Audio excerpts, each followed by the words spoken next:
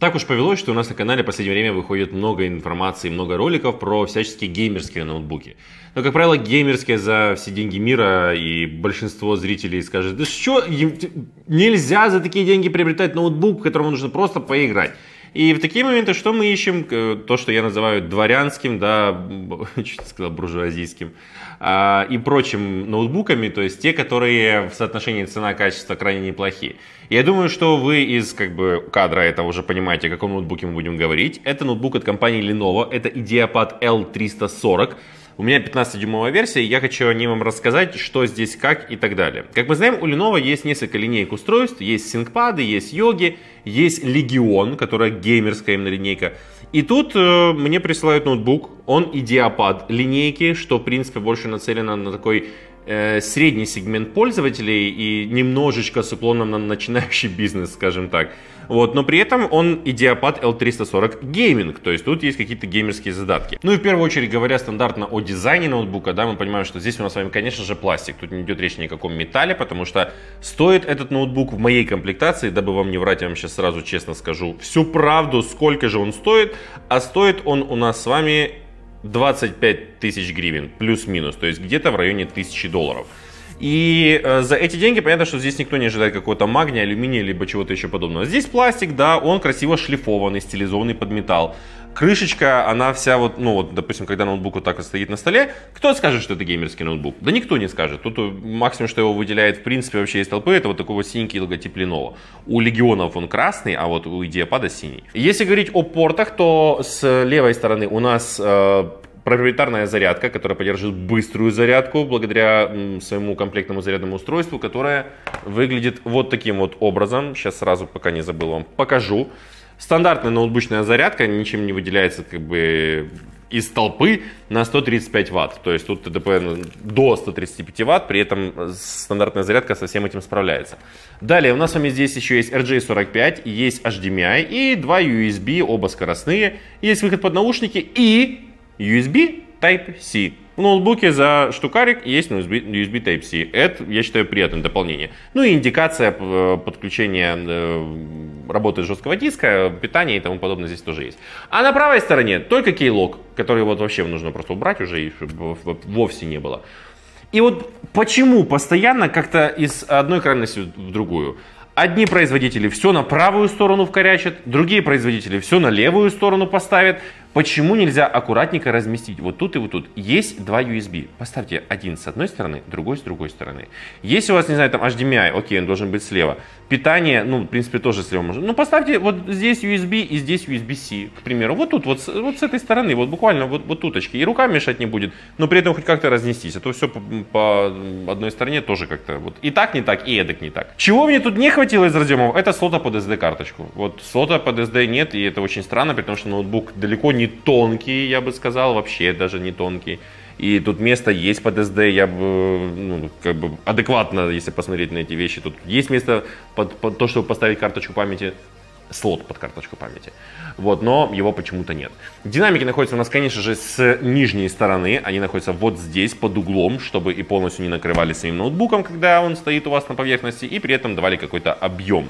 Вот, э, система вентиляции у нас сделана таким образом, что у нас все выдувается вот здесь вот сзади. Вот, вот тут вот все забирается, когда ноутбук у вас стоит на ножках, на вот этих вот прорезиненных, и выдувается все с этой стороны. А, забегая наперед, скажу, что сумасшедших перегревов и тротлингов это не вызывает, то есть ну, с ноутбука все в порядке с этим. И, в принципе, ожидаемо, потому что здесь не самое сверхнавороченное железо, которое могло бы раскочегарить ноутбук. Но при этом иногда температуры могут достигать 90 Гц. Это то 90 Гц. 90 градусов по Цельсию, который... И, ну, само собой, можно его до этого довести, но при этом это нужно очень-очень сильно постараться, потому что это ноутбук для среднего гейминга. А, переходя на эту часть ноутбука, когда мы его открываем, нас встречает Lenovo клавиатура. Я их так уже называю, потому что они ну, компания Lenovo сделали очень правильно, что вот эту свою синпадовскую клавиатуру в том или ином виде они ее реализуют в, во всех своих девайсах, потому что она успешна, она реально классная, я считаю, одной из самых удобных Здесь очень приятное линейное такое нажатие, очень короткий ход клавиш, и при этом вот эта вот такая, знаете, полувыгнутость, она здесь чуть-чуть тоже присутствует. И необычная синяя подсветка. Понятно, что тут нет настраиваемого RGB, но, как правило, в линейке Diapat и в подобных линейках используется либо белая, либо никакая вовсе. И я сначала, когда он ко мне приехал в вот таком состоянии, думаю, ну окей, боковушечки в синий цвет покрасили, а подсветочку? А оказывается, подсветочку нужно включить через FN и пробел. И она здесь трехуровневая, вот так чуть-чуть светится, сильно светится и вовсе не светится. Вот, поставим на сильно светится, потому что ну, реально приятно. И тут голубенькие у нас здесь, где радиаторы стоят, и здесь у нас э, голубенький логотип Lenovo и все остальное. Наклейки нам говорят о том, что у нас здесь процессор Core i5 девятого поколения и видеокарта GeForce GTX Наклейки, я надеюсь, тоже канут в лету, как и Keylog. Ну, уже как бы, ну, хватит наклейки клеить на ноутбуке, это вовсе не серьезно. Что касательно экрана, здесь он откровенно неплохого качества. Я бы не сказал, что он хватает звезды с неба, но при этом э, за ним ну, не отвратительно работать, это, это радует. Это IPS-дисплей со всеми его преимуществами, у него высокие углы обзора, у него хорошая контрастность, он поворачивается практически на 180 градусов, но не до конца, как вы видите. И смотреть видео на нем приятно, и играть на нем тоже приятно, и в принципе обрабатывать видео, обрабатывать фотографии, тут никаких там зашкалов, какие-то зеленые либо синие оттенки нет. То есть под каким углом бы я его не повернул, все в принципе адекватно просматривается. Э, из того, что я отмечаю как плюс, это то, что можно крышку открывать одной рукой, само собой это плюс. То есть шарнир здесь достаточно хорошо устроен, но при этом, если вот так вот, видите, я трогаю ноутбук, то он вот так вот будет немножечко пошатываться. Но снова-таки в голове держим, сколько все это дело стоит. Для меня приятной неожиданностью была шторка Sync Shutter. Вот эта вот, которая есть в SyncPad, она есть и здесь. То есть мы можем с помощью физической шторки закрыть нашу веб-камеру на 720p и можем ее вот так вот э, открыть и обезопасить себя от просмотра какими-то спецслужбами, либо хакерами и всем вот этим вот страшным дядькам не дать возможности к нам здесь смотреть. По железу здесь все крайне интересно, я бы сказал, потому что здесь с одной стороны новый процессор, который в этом году себя хорошо зарекомендовывает, с другой стороны видеокарта, которая нам в прошлом году, в принципе, везде была в, бюджетной, в бюджетном среднем гейминге, вот, и теперь ее снова здесь э, используют, но это лично моей комплектации, бывает комплектация немножко с другой видеокартой. В моем случае процессор это i5-9300H, это четырехъядерный процессор, который 8-поточный, с тактовой частотой 2,4 ГГц и турбобустом до 4,1. Мы в ряде уже ноутбуков устройств его видели, и он вытаскивает все без вопроса, без проблем, монтаж, игры, вообще как бы очень-очень удачный процессор, несмотря на то, что это не i7, а i5. Ну, как бы пониже будет у него энергопотребление, чем у того же i7.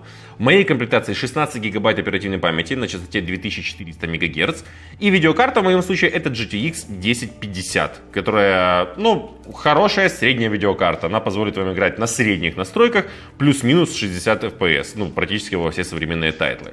В моей комплектации установлен жесткий диск, именно HDD на 1 терабайт и SSD на 128 гигабайт. Как всегда стандартно систему кидаем на SSD, весь остальной хлам и мусор на HDD, как бы, чтобы не э, путать теплое и мягкое, так сказать. И в целом эта комбинация, знаете, это такое ультимативное решение, которое понятно, что тут ты не поиграешь, там, не знаю, в метро, либо Battlefield 5 в 4К и на ультраграфике. Тут нет никакого RTX и так далее. Вот, но при этом для монтажа 1050 хватает, для Full HD монтажа его более чем. Его хватает для всех игр, тот же Метро, тот же Ведьмак, тот же Battlefield, тот же GTA. На средних настройках спокойно, пожалуйста, у тебя будет плюс-минус 50-60 FPS. Ну, само собой, что в зависимости от игры и от случая. Вот, и в целом, как бы, все получается довольно неплохо. Но у Lenovo есть еще несколько модификаций этого ноутбука, где используется процессор уже i7, более навороченный и используется видеокарта GTX 1650, которая приходит на замену 1050. И тут, конечно, уже все будет зависеть от стоимости. Насколько я знаю, стоимость той комплектации, которая немножечко покруче, которая с i7 и с э, видеокарточкой 1650, она отличается, вот давайте, чтобы я вам не врал, Процессор i7 9750 и видеокарта 1650 это уже стоимость в 27 тысяч гривен, но при этом это с оперативной памятью на 8 гигабайт. То есть, в принципе, там можно будет еще плашечку доставить. То есть, э, разница будет примерно в где-то 5 тысяч гривен, плюс-минус 200 долларов за чуть более мощный процессор и за чуть-чуть более мощную видеокарту. Но тут уже что вам больше нужно, конечно же, решать вам. У меня в целом к этому ноутбуку особо, в принципе, вопросов нет, но то, что я вам забыл еще упомянуть, это тачпад. Он крайне странный. Ну вот, э, нужно понимать, что у меня сэмпл, это не коммерческий образец, и на него приходит до сих пор обновление драйверов на этот тачпад. Но он какой-то, во-первых, э, как по мне, маловат, можно было бы и больше поставить. И тут у него вот, вот такие вот штуки есть.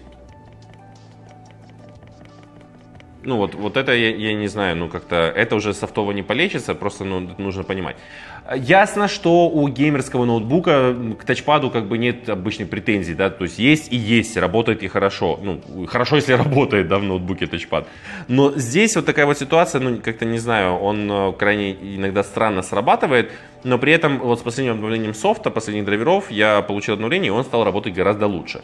Но к тому, что я привык э, в ультрабуках, к примеру, к двойному тапу по тачпаду, чтобы вылезало дополнительное окошечко, здесь такого нет. Тройные все вот эти вот вещи работают, а двойные, возможно, ну, я не настроил, либо этого здесь нет, но как-то, не знаю, вот какой-то у меня немножечко странненький тачпад здесь получился. Вот, но в целом, как, бы, как мы знаем, геймеры на тачпаду вообще плевать хотели, потому что они подключают мышки, чувствуют себя царями, богами и всеми остальными. И если в целом подвести итог про этот ноутбук, то с одной стороны, это хорошее, действительно ультимативное решение, в котором очень такой, знаете, сдержанный внешний вид. Это я всегда принимаю за плюс, чтобы не было слишком много агрессивности. Здесь неплохой экран, здесь неплохой звук, здесь достаточно мощное железо, как за эти деньги. Но при этом здесь э, вот эти вот э, иногда конструктивные особенности ввиду того, что все порты находятся слева, ввиду этого тачпэда и ввиду того, что понятно, что иногда он может нагреваться там до 90 градусов, что в принципе нормально для этого процессора, но все же.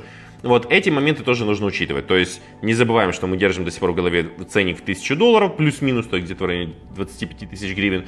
И как за эти деньги, это очень классное решение. Ну, очень крутое. Ну, повторюсь еще раз, можно, конечно, посмотреть там в сторону легионов, там их же, да, от компании Lenovo. Но там, как бы, извините, и ценник уже порядка в два раза больше. То есть, э, это такой, знаете, хардкорный гейминг, хардкорный в плане, у меня есть определенная сумма, но я хочу поиграть. Поэтому на средненьких настройках, вот ноутбук для средненьких настроек во всех современных тайтлах, вот я бы его так назвал. Поэтому, если вам понравился, ставьте ему лайк, если понравился наш ролик, ставьте нам лайк, подписывайтесь на канал, включайте колокольчик, ну и, конечно же, до новых встреч.